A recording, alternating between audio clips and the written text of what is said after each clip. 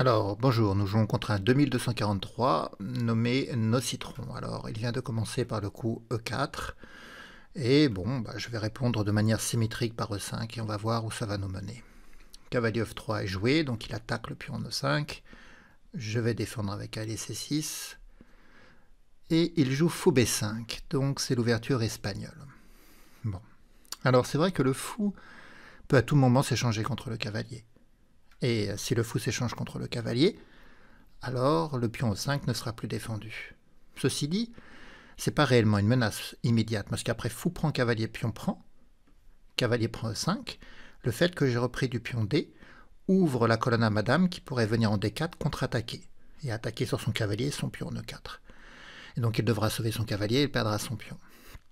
Donc c'est pour ça que la menace n'est pas immédiate. Maintenant, ça va planer dans la position, et à un moment donné, euh, ça pourra arriver que la prise du cavalier menace réellement de gagner le pion en E5.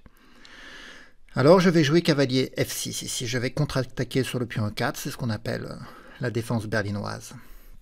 Donc il fait petit roc. Alors euh, je vais prendre le pion en E4, même si je sais que le pion je ne peux pas le conserver, je perdrai le pion en E5, surtout que ça va ouvrir la colonne semi-ouverte E, qui va lui permettre de contre-attaquer dans ma position. Alors généralement, les joueurs ils jouent D4 ici. Hein. Ils cherchent à ouvrir complètement la colonne E pour que tour 1 arrive avec plus de force. Alors mon adversaire vient de jouer tour 1 immédiatement. Alors mon cavalier est attaqué. Bon. Eh bien, on pourrait essayer de le défendre par D5, mais vous voyez, ça laisserait le cavalier C6 cloué, le cavalier pourrait prendre en E5, en même temps, le cavalier en E4 peut être à tout moment chassé par un coup comme D3. Avec l'ouverture de la colonne, c'est dangereux. Donc, il vaut mieux ici replier le cavalier en D6 et attaquer euh, le fou en B5. Donc, je vais jouer cavalier D6. Alors, bien sûr, ça bloque le pion D, mais en cas de fou prend cavalier C6, je reprends du pion D. Et donc, le fou C8 retrouve sa diagonale de sortie naturelle. Et il vient de faire cavalier prend E5. Bon, alors là, évidemment, il faut euh, très vite intercepter les menaces qu'il pourrait y avoir sur cette colonne ouverte. Mon adversaire va menacer de jouer cavalier prend c6 avec l'échec de la tour et le cavalier bien sûr attaquera madame. Donc ici il faut jouer fou e7 pour préparer le petit roc. D4 vient d'être joué. Bon. Bah, je ne sais pas ce qu'il y a de mieux réellement ici à faire que le petit roc, donc je vais roquer. Alors parlons un peu de cette position. Il y a des déséquilibres. On n'a pas ni le même rapport matériel, ni la même structure de pion. Alors, au niveau du rapport matériel, j'ai obtenu la paire de fous, c'est-à-dire que je possède l'unique fou de casse blanche de la position. Ça veut dire que je vais devoir me mettre à attaquer sur les cases blanches, à essayer de prospecter toutes les menaces que je pourrais faire sur les cases blanches. Et puis mon adversaire, lui, il va chercher à porter le combat sur les cases noires, parce qu'il a trois pièces légères, les deux cavaliers le fou, capables de combattre sur cette couleur. Alors que moi, comme j'ai un fou de case blanche, eh bien je n'ai que deux pièces légères capables de combattre, et de me défendre sur les cases noires. Donc la stratégie dans ce type de rapport matériel, c'est, euh, pour moi en tout cas, essayer de me consolider sur les cases noires, notamment avec ma structure de pion, avoir une structure de pion solide sur les cases noires et de ne pas m'affaiblir sur cette couleur de case, de ne pas créer euh, des trous sur les cases noires, et puis d'essayer de porter le, combat sur les cases blanches. Alors pour cela, il va falloir essayer de lui provoquer des affaiblissements dans sa structure de pion sur les cases blanches. Notamment le pion que j'aimerais bien voir disparaître, ou en tout cas essayer de faire avancer, ce serait le pion G2, puisque c'est l'unique pion qui défend les cases blanches de l'aile roi. Donc pour l'instant, il réfléchit. On va essayer de voir comment euh, continuer son développement dans la position. Alors, euh, j'ai pas beaucoup de faiblesse, moi, sur les cases noires non plus. Hein. Pour l'instant, j'ai le pion G7 qui est resté à demeure, les pions C7, les pions A7. Donc, euh, pour l'instant, il ne trouve pas trop de cibles euh, sur les cases noires. Il aimerait bien lui aussi provoquer l'avance de mon pion G7 ou la disparition de mon pion G7, mais vraiment, je toucherai à mon pion G7 que si j'en suis vraiment absolument contraint. Sinon, il va rester en G7 tout le long de la partie. Hein. il ne va pas bouger. Alors, comment on pourrait essayer de de continuer le développement pour moi en tout cas, eh bien, il y a des coups comme cavalier f5 qui pourra arriver pour essayer d'attaquer des 4, essayer de provoquer l'avance du pion en c3. Moins il a de pions sur case blanche et plus mon fou de case blanche aura euh, des diagonales à sa disposition. des, ouvertures de diagonale à sa disposition. Donc cavalier F5 est un coup qui pourra être joué. sinon, peut-être que le cavalier E5 je finirai par le repousser par l'avance du pion F7 en F6. Après tout, F7 en F6 consolide mes cases noires, ça affaiblit euh, cette diagonale blanche, mais puisque mon adversaire n'a pas faute de case blanche, c'est pas, pas très menaçant. Alors mon adversaire a joué Dame D3. Il faut comprendre ici que pourquoi il joue Dame D3. Je suppose qu'il va chercher à passer en, G3. Et de G3, il va mettre une pression sur G7 et il cherchera peut-être à jouer fou H6 après. Bon, ça va échouer parce que s'il joue Dame G3 et fou H6, il y a cavalier F5 qui va arriver, qui attaquera sa dame et son fou, et donc il aura même une perte matérielle. D'ailleurs, euh, ici, sa dame D3 pourrait être attaquée euh, même par fou F5, puisqu'il y a le cavalier euh, qui protège, la dame bouge et ça met en pression le, pion C2. Donc, fou F5 est intéressant, mais j'aimerais bien laisser cette case disponible pour mon cavalier. Je pourrais jouer cavalier F5 aussi, immédiatement. Je sais pas. Fou F5 c'est intéressant, cavalier F5 immédiatement est intéressant. Euh, peut-être même repousser le cavalier par F6. Fou E6 c'est également un coup candidat. J'ai le choix ici. Hein. C'est ça le problème, c'est que lorsqu'on a beaucoup de choix, eh bien finalement, on perd beaucoup de temps à essayer de trouver euh, quelle est la meilleure option. Hmm. Je pense ici que la meilleure option est quand même de jouer fou f5, et si la dame vient en g3, eh bien, pourra prendre le pion c2, et s'il joue fou h6, eh bien, la case f5 sera libérée pour le cavalier. Donc fou f5 participe à, à la finalisation de mon développement, et à la mise en action de mon fou de case blanche, donc c'est vraiment le coup qui m'intéresse quand même ici. Donc on va jouer fou f5.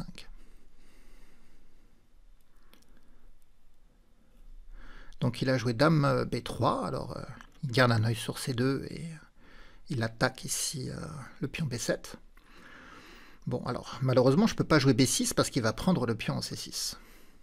Hmm. Ouais. Bon, bah ça va être certainement tour b8 qui va devoir être joué. A à noter que je ne peux plus chasser son cavalier par f6 puisque maintenant le roi est cloué. Alors je pourrais très bien jouer fou e6 et après chasser le cavalier. Hein. Mais euh, ce serait pas très bon d'ailleurs, hein, parce que même si je jouais fou aussi, 6 qu'il bouge sa dame, que je chasse le cavalier, mon fou serait sans protection sous le viseur de sa tour. Donc son cavalier pourrait bouger, mon fou serait attaqué. Bon, mais déjà, il faut régler les problèmes un par un. Et si le pion B7 est attaqué, ah oui, mais le cavalier défend le pion B7. Donc euh, finalement, c'est pas une, une, attaque bien méchante. Mhm. Et le pion D4 n'est pas défendu, mais si je joue cavalier B5, par exemple, il est en mesure de jouer C3 et de régler ses problèmes quand même. Alors après, ça provoquera l'avance du pion C2 en C3, c'est peut-être pas si mal pour moi, mais...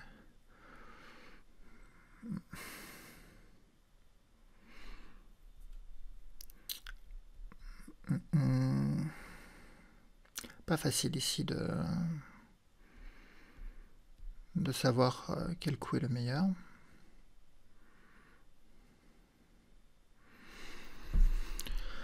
Bon, peut-être qu'on peut jouer fou e6, attaquer sa dame, replacer le fou en d5 aussi, mettre la pression sur le pion g2. C'est intéressant aussi. Allez, je vais jouer fou aussi ici. Là, vraiment, je sais pas. Il y avait plein de coups candidats. Et puis euh, mon temps, euh, ça me nuise, donc c'est pas facile.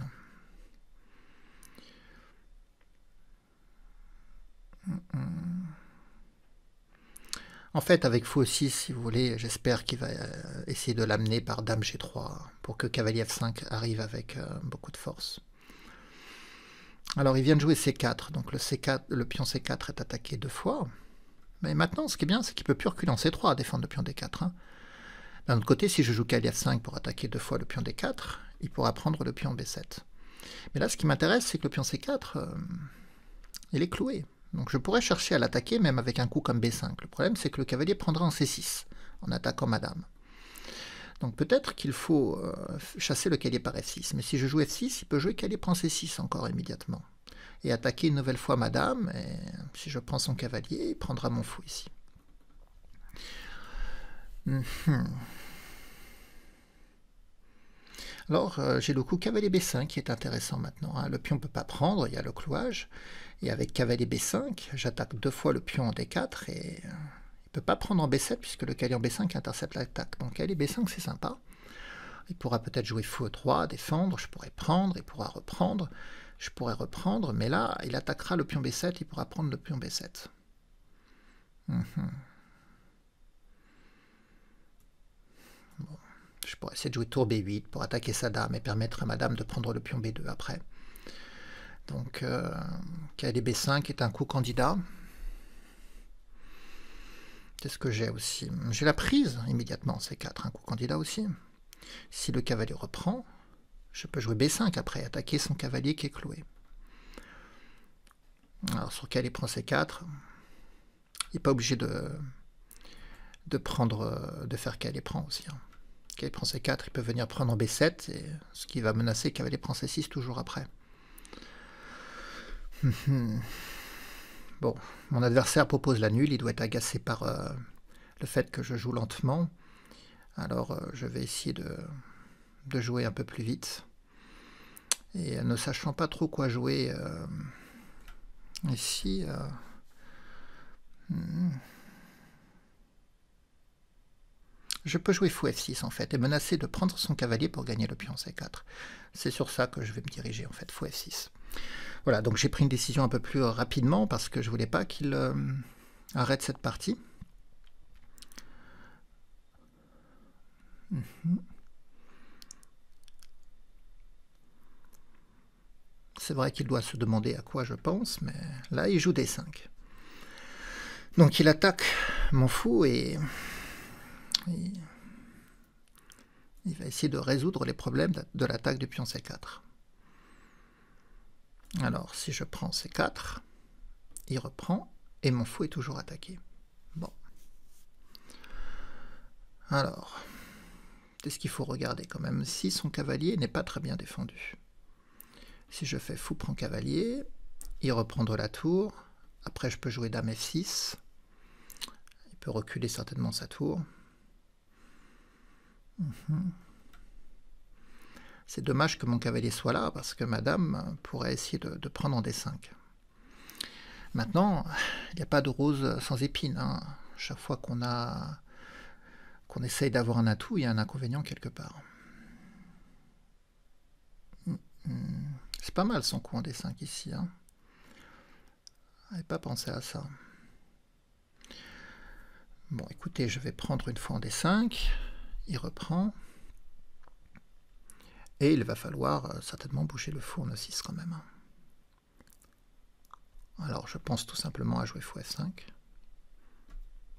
Voilà.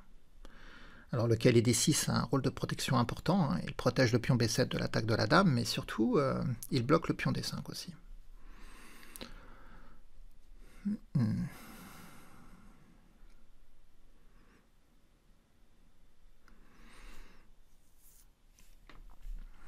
Alors lui, quels sont ses problèmes dans la position?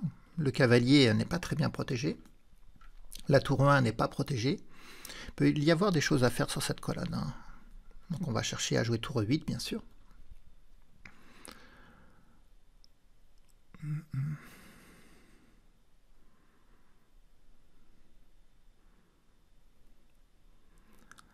si je joue à un moment donné des coups comme fou 4 ou cavalier E4, il faut comprendre que la tour ne protégera plus le cavalier, donc il devra résoudre le problème de son cavalier. Alors au niveau du rapport matériel, hein, c'est toujours la même chose. Hein, il a toujours plus de force que moi pour combattre sur les cases noires, et j'ai toujours la possession de l'unique fou de case blanche. Mais j'ai du mal ici à travailler sur les cases blanches.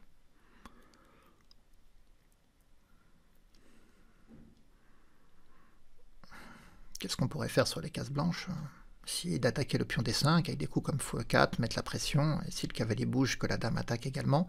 Mais c'est pas facile de bouger le cavalier comme ça. Il a un gros travail défensif quand même. Hein. Et puis en plus, si je joue Fou4, je peux pas bouger le cavalier, sinon il prendra mon fou avec sa tour.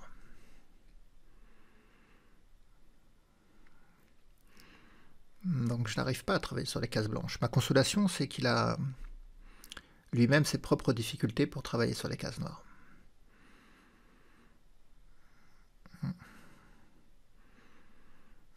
Alors pourtant, il doit chercher à se développer. Ici, les coups candidats, c'est certainement fou F4 ou KL C3. Hein. Voilà, il vient de jouer euh, cavalier C3. Bon, comme j'ai pas beaucoup de temps, je vais jouer un peu plus rapidement euh, dans la position. Je vais jouer tour 8. Donc on attaque deux fois le cavalier. Il va certainement jouer fou euh, F4 pour le défendre une deuxième fois. Voilà. Mhm.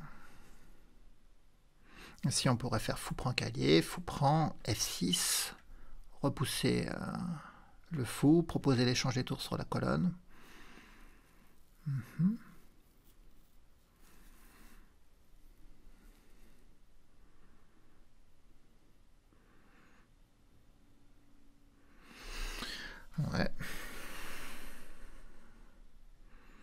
Le cavalier en E5, il est déplaisant quand même. Je ne sais pas comment le, le gérer autrement.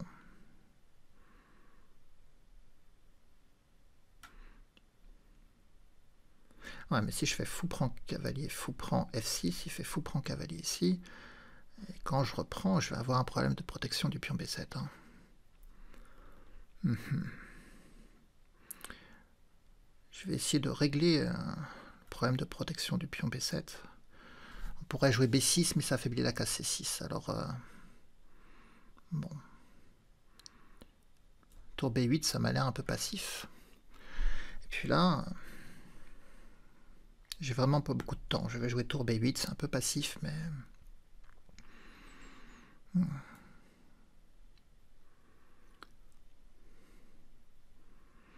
Écoutez, mon adversaire, euh, peut-être tout simplement mieux ici. Hein.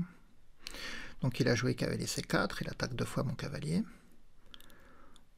Mhm. Je vais prendre en E1, parce que là, il cherchait peut-être à prendre ma tour. Oh là là, j'ai pas beaucoup de temps, cette histoire. Ça va être compliqué. Ça va être compliqué à gérer, cette histoire. Hein, le problème, c'est que j'ai du mal à activer ma tour et à contester la colonne parce qu'il va y avoir des échanges en D6 et le pion B7 va, tomber. Hum. Déjà, il va falloir, je pense, à jouer un coup comme H6 à un moment donné pour créer une petite case de fuite. Alors maintenant, c'est bien avec la reprise en D6, la dame défend B7. Hein. Donc la tour euh, peut à nouveau retrouver de la mobilité. Il propose l'échange des, des dames. Alors je vais jouer tour D8. Si j'avais pris le cavalier prend, il attaque pas mal ma position, D6 à 7, etc. Donc, euh, Alors s'il prend, je suis obligé de reprendre du fou, hein, parce que sinon il va y avoir le, mat du couloir. Hein. Et donc là, il en profite pour jouer fou des... Fou prend D6. Hmm, hmm. Ça c'est une mauvaise nouvelle pour moi.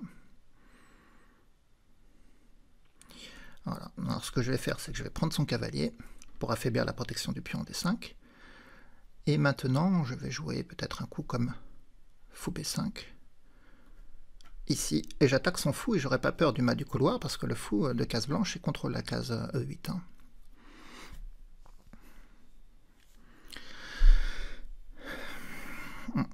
Donc j'essaye de regagner le pion hein, avec l'attaque sur cette colonne. Et il va falloir que je, crée une case de fuite pour régler mon problème ici, parce que j'ai quand même un problème de mat du couloir hein, qui traîne. Donc il vient ici, je prends le pion D5, et il ne peut pas venir en E8. Hum, hum.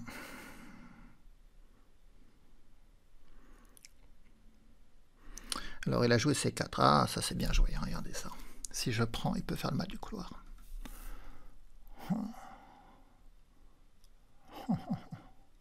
Quel joli coup. Oh. Et je suis tombé autant. Ah, un joli coup. Il m'a trouvé un joli coup avec ces quatre. Hein. Alors, je ne sais pas si j'ai quand même un moyen euh, de, régler le problème.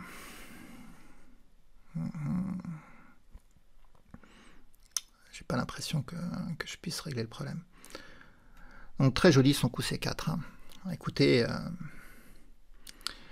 une petite, une, belle défaite quand même, hein, mais bon, un peu de honte donne des couleurs et, réchauffe le cœur. Oui, alors j'ai analysé la partie, donc il y avait quand même une égalité, euh, c'était assez serré tout le long de, la partie, et mon erreur ici, ça a été de jouer fou B5. Vous voyez, il y a eu fou B5, euh, donc j'attaque le fou et le pion, il joue fou C7, et quand je fais tour prend D5, je me prends le coup C4, et là c'est totalement perdant pour moi, parce qu'il attaque la tour et le fou, et je peux pas prendre le pion C4 à cause du mat du couloir. Et donc, euh, dans cette position, L'erreur, c'est de jouer fou B5. C'est pas une mauvaise idée en réalité de bouger le fou et d'attaquer sur la colonne, mais il faut pas aller en B5. Donc euh, le module d'analyse, je viens de regarder, euh, vient d'indiquer qu'en fait il fallait jouer fou A4. Et là, j'attaque le fou, et en cas de fou C7, je prends, il n'y a plus de, C4 qui fait la fourchette. Donc j'ai j'ai plus de problème maintenant, et la position est tout simplement égale. Hein. On a un rapport matériel assez annulant avec la présence de fou de couleur opposée dans cette finale le même nombre de pions, les mêmes problèmes d'ailleurs de part et d'autre du mat du couloir. Et puis euh, la structure de pions est même légèrement à mon avantage puisque j'ai des pions liés alors qu'il a des pions isolés, mais ça suffit pas du tout pour, euh, pour avoir euh, pour convertir cet avantage. La position est tout simplement égale selon selon les critères de jugement. Donc là le, le, problème ça a été ce coup ici là, vous voyez, fou B5. Et j'avais pas du tout pensé qu'après fou C7, tour prend D5, j'allais me prendre le coup C4. Bon, j'avais très peu de temps, hein, donc c'était difficile. Alors voilà, pour vous montrer que mon adversaire a vraiment très bien joué, voici le, rapport euh, d'erreur. Euh, eh bien, mon adversaire fait une imprécision dans la partie, zéro erreur, zéro gaffe, donc il a très très bien joué. Il a une perte moyenne en centipion, c'est euh, au niveau de l'évaluation des coups par rapport aux coups proposés par l'ordinateur, donc il a une perte moyenne en centipion que de 8, donc c'est vraiment un très très beau score, hein, surtout sur un nombre important de, coups. Euh, moi, j'ai une perte en moyenne en centipion plus importante parce que j'ai fait une imprécision, une erreur et une gaffe. Alors la gaffe, c'était le, dernier coup que, vous avez vu, où je joue fou B5 et je me prends la, fourchette en C4 avec cette idée de déviation alors qu'il fallait que je joue fou A4 pour euh, tenir le résultat. Voilà, c'était une partie euh, intéressante. Euh, beaucoup euh, d'entre vous dans les commentaires attendaient une nouvelle défaite, hein, parce que j'ai mis et j'avais posté une, partie perdue que j'avais perdue sur l'ouverture Bird 2, hein, c'était la deuxième vidéo. Bien voilà, je vous souhaite une bonne fin de journée. Au revoir à tous.